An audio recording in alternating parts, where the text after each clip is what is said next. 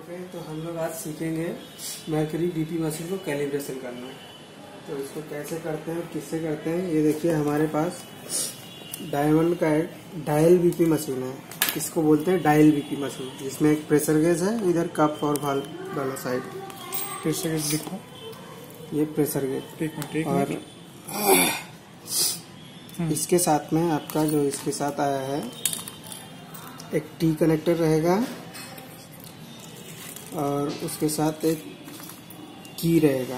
ये की का यूज़ क्या है मैं बाद में बताता हूँ। पहले देखते हैं कैलिब्रेशन कैसे करते हैं। ओके। कप भी रहेगा ना? यहाँ कप है। तो सबसे पहले क्या करना है मरकरी बीपी मशीन को हमको देखना है ये टी कनेक्टर कहाँ लगाना है। इसका कप साइड को इधर से डिसकनेक्ट कर देना है। इसका कप यहाँ से खोल देंगे। इसको भी निकाल देना है। कप को अलग कर दिया। उसके बाद ये टी कनेक्टर यहाँ पे लगाएँगे इस पॉइंट में जो डायरेक्ट मरकरी में पाइप जाता है। इसके बाद में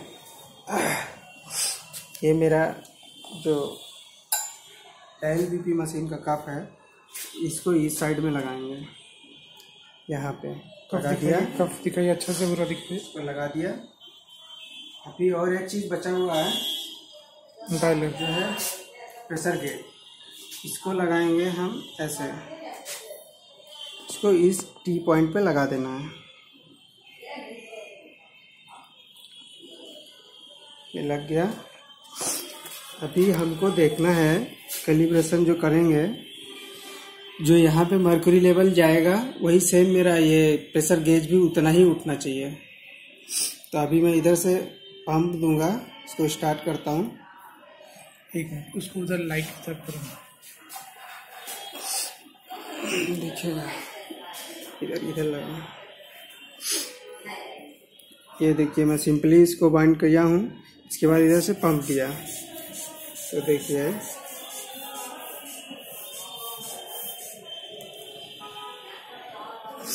ये देखिए जिधर मर्क्यूरी लेवल जितना जा रहा है इस साइड में उतना ही प्रेशर गैस भी उठ रहा है। इससे पता चल रहा है, ये बीपी मशीन एकदम ठीक है। इसमें कोई इरर नहीं, कोई कुछ नहीं है। जितना पंप दूँगा, उतना ही मर्क्यूरी लेवल जा रहा है, उतना ही प्रेशर गैस भी बता रहा है, उतना ही देखिए। इधर टू हंड्रेड समथिंग इधर सेम पूरा सेम सेम दोनों में दिख रहा है।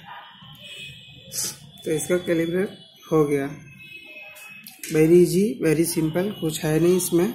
बस खाली ये देखना है, कहाँ पे क्या चीज़ लगाना है। इधर मरकुरी वाला कप को खोल के जस्ट बीच में टी कनेक्टर लगाना है और एक साइड में ये प्रेशर गेज लगा देना है। इसके बाद इधर से हमको पंप करना है। इसको ऐसे बाइंड करके कहीं भी रख रख सकते हैं या हाथ में भी लगा सकते हैं। ये अभी बताते हैं ये की का यूज़ किया था। दिखाइए की नहीं दिख रहा है। ये इसके साथ में एक की रहता है।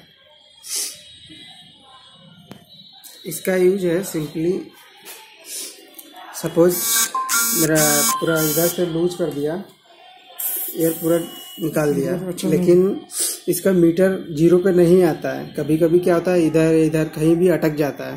तो इसको जीरोइंग करने के लिए इसको कैलिब्रेट करने के लिए ये की का यूज़ करते हैं। इसको यहाँ से खोलेंगे।